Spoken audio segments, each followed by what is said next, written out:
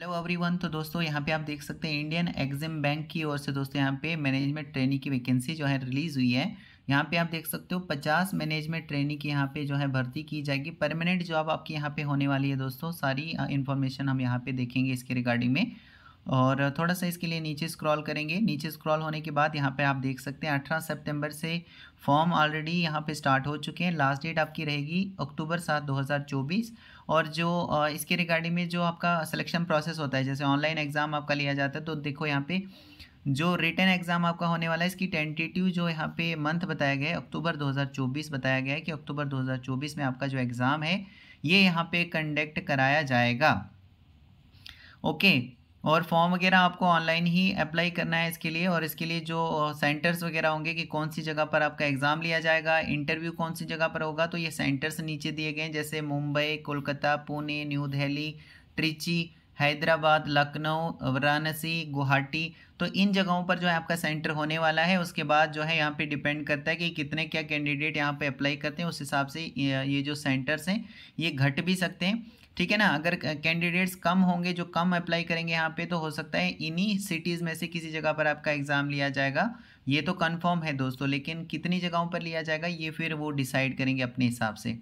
Okay examination centre might change if sufficient number of candidates are not available थोड़ा सा नीचे scroll करेंगे, नीचे स्क्रॉल होने के बाद यहाँ पे देख सकते हैं दोस्तों, पचास, जैसे मैंने आपको बताया, पचास मैनेजमेंट ट्रेनिंग की टोटल पोस्ट हैं, जिसमें से अन रिज़र्व के लिए बाईस रखी गई है एससी के लिए सात एस के लिए तीन O B C N C L के लिए तेरह ई डब्ल्यू एस वालों के लिए पाँच और पी डब्ल्यू डी वालों के लिए दो वैकेंसी यहाँ पे मैनेजमेंट ट्रेनिंग की होने वाली है।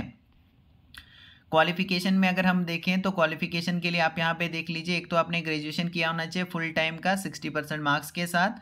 दूसरा दोस्तों यहाँ पे जो है पोस्ट ग्रेजुएशन यानी पीजी आपने किया होना चाहिए एमबीए पीजी डीबीए या PG DBM MMS with specialisation होनी चाहिए फाइनेंस में इंटरनेशनल बिज़नेस या फिर फॉरेन ट्रेड में या चार्टर्ड अकाउंटेंट सीए में या फिर uh, जो है ये जो पोस्ट ग्रेजुएशन कोर्स है दोस्तों ये मिनिमम दो साल का होना चाहिए फुल टाइम ड्यूरेशन का सिक्सटी परसेंट मार्क्स आपके होने चाहिए। With specialisation in finance with minimum sixty percent marks के साथ यानी कि ग्रेजुएशन भी मांगी है यहाँ पे इन पोस्टों के लिए और पोस्ट ग्रेजुएशन भी यहाँ पे मांगी गई है ओके? इसके अलावा दोस्तों जो अपीयरिंग है, यहाँ पे देख सकते हैं यहाँ पे कैंडिडेट्स वो have appeared appearing for the final examination PG में जो या फिर चार्टर्ड अकाउंटेंसी में जो अपीयरिंग है जिनका फाइनल एग्जामिनेशन का मान लीजिए रिज़ल्ट वगैरह अभी तक नहीं आया है to be held during 2000 November 2024 and are expecting their result in 2025 मतलब जो आपका एग्ज़ाम वगैरह है वो नवंबर 2024 में uh, जो है uh, होने वाला है. और आप एक्सपेक्ट कर रहे हो कि आपका रिज़ल्ट जो है 2025 में आ जाएगा. तो भी आप यहाँ पर एलिजिबल हैं अप्लाई करने के लिए. आपके लिए भी यहाँ पर इन्होंने बताया कि आप यहाँ पर फॉर्म वगैरह फिल कर सकते हैं. बाकी मैंने आपको कैटेगरी वाइज बता दिया दोस्तों कि जो है कितनी क्या पोस्टें यहाँ पे कैटेगरी वाइज रखी गई हैं. थोड़ा सा नीचे स्क्रॉल करें तो यहाँ पे एज लिमिट भी आप देख सकते हो। एज यहाँ पर क्या बताई गई है कि जो एज है आपकी, ये देखी जाएगी दोस्तों अगस्त एक 2024 को आपकी एज की गिनती की जाएगी। तो 21 साल से कम के आप नहीं होने चाहिए। साथ ही साथ अट्ठाईस साल से ज़्यादा के आप नहीं होने चाहिए बाकी अगर आप किसी कैटेगरी से बिलोंग करते हो, आपको रिलैक्सेशन देखने को मिल जाएगा। जैसे एस सी वालों को तैतीस साल तक एज अगर आपकी आती है तो अप्लाई कर सकेंगे। ओबीसी वालों को यहाँ पे इकतीस साल तक अगर आपकी एज आती है मैक्सिमम तो आप अप्लाई कर सकते हैं। इसी तरह से P W B D S C S T में P W B D O B C N C L में P W B D unreserved E W S जो आते हैं, वो अट्ठतीस साल की एज तक अप्लाई कर सकते हैं। तो ये आप अपनी कैटेगरी वाइज यहाँ पे चेक कर सकते हैं दोस्तों कि कौन सी कैटेगरी में जो आपकी कैटेगरी है, उसमें कितना क्या रिलैक्सेशन दिया गया है। दोस्तों, यहाँ पे आप देख सकते हैं, यहाँ पे लिखा गया है कि जो सिलेक्टेड कैंडिडेट्स हैं, उनको पोस्ट किया जाएगा। किसी भी जगह इंडिया में कहीं पर भी आपको पोस्टेड किया जा सकता है depending upon the requirement of the bank तो ये बैंक के रिक्वायरमेंट के ऊपर डिपेंड करता है, आपको कहीं पर भी भेजा जा सकता है। Therefore only candidates willing to serve इसलिए यहाँ पे इन्होंने बताया कि वही कैंडिडेट अप्लाई करें, जो इंडिया में कहीं पर भी जाने के लिए विलिंग होंगे। उनको कोई प्रॉब्लम नहीं होगी, ठीक है? इसके अलावा सेलेक्टेड कैंडिडेट्स में आल्सो भी transfer to office outside India with their consent तो यहाँ पे बताया गया कि जो सिलेक्टेड कैंडिडेट्स हैं, उनको आउटसाइड मतलब इंडिया से बाहर भी जो ऑफ़िस हैं, वहाँ पर जाना पड़ सकता है। तो इसलिए आप विलिंग टू ट्रैवल होने चाहिए। इसके अलावा जो है, यहाँ पे आप देख सकते हैं management training will be absorb in grade scale junior management as deputy manager after successful completion of the training period for one year in the bank जब एक साल की आपकी ट्रेनिंग वगैरह जो है वो ट्रेनिंग पीरियड कंप्लीट हो जाएगा तो मंथली स्टाइपेंड जो है पैंसठ हज़ार का दिया जाएगा सिक्सटी फाइव थाउज़ेंड का दिया जाएगा will be paid during the training period तो सिक्सटी फाइव थाउज़ेंड आपको मिलेगा जब आपकी एक साल तक जो ट्रेनिंग रहेगी ना ट्रेनिंग के दौरान आपको सिक्सटी फाइव थाउज़ेंड मिलेगा एज ए स्टाइफंड के तौर पर, और उसके बाद फिर आपको डायरेक्ट जो है वो डिप्टी मैनेजर के पोस्ट के लिए आपको लिया जाएगा एक साल के बाद। देख सकते हो यहाँ पे, the pay band for deputy management appointed in the service of the bank shall be अड़तालीस हज़ार आठ सौ से लेकर और यहाँ पे पचासी हज़ार नौ सौ बीस तक आपकी जो सैलरी है, फिर यहाँ पे जा सकती है।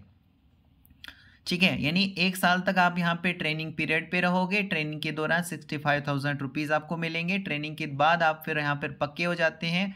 परमानेंट एक तरह से आपको पोस्ट मिलती है, उसके बाद फिर आपको अच्छी खासी यहाँ पर जो है सैलरी मिलेगी। हर चीज़ यहाँ पे आप जो भी बेनिफिट वगैरह अलाउंसेज वगैरह, हर चीज़ यहाँ पे आपको मिल जाएगा। दोस्तों, यहाँ पे एप्लीकेशन फ़ीस भी अगर आप यहाँ पे जो फॉर्म है वो फिल करते हैं तो छः सौ रुपये आपको फ़ीस देने, देनी पड़ेगी अगर आप यहाँ पे जनरल और ओबीसी से आते हैं। और अगर आप S C S T P W D E W S female E W S और फीमेल कैंडिडेट्स हैं तो आपको वो ऑनली यहाँ पे कितना? एक सौ रुपये पे करना है दोस्तों। ठीक है? और सिलेक्शन प्रोसेस कैसे होगा यहाँ पे? रिटर्न टेस्ट लिया जाएगा, उसके बाद पर्सनल इंटरव्यू होगा और फिर फाइनली आपको यहाँ पर ये पोस्ट जो है मिलने वाली है। ओके? इसके अलावा कुछ और इंपॉर्टेंट बात कर लेते हैं दोस्तों। यहाँ पर ये जो पोस्ट है, इसके लिए सभी कैंडिडेट अप्लाई कर सकते हैं ऑल ओवर इंडिया सभी मेल भी अप्लाई कर सकते हैं फीमेल भी यहाँ पे अप्लाई कर सकते हैं। और रिटर्न एग्ज़ाम जो आपका लिया जाएगा, इसमें आप देख लीजिए यहाँ पे जो यहाँ पे प्रोफेशनल नॉलेज सब्जेक्टिव यहाँ से क्वेश्चंस होंगे। और इसमें देख सकते हैं यहाँ पे पार्ट वन होगा फाइनेंशियल स्टेटमेंट यहाँ से चालीस मार्क्स का पूछा जाएगा पार्ट टू होगा attempt any six out of eight question आठ क्वेश्चन होंगे, उसमें से छः अटैम्प्ट करने होंगे आपको, ये सिक्सटी मार्क्स करेंगे टोटल यहाँ पे सौ मार्क्स करेगा। ढाई घंटे का आपको टाइम दिया जाएगा यहाँ पे करने के लिए। और इसके अलावा दोस्तों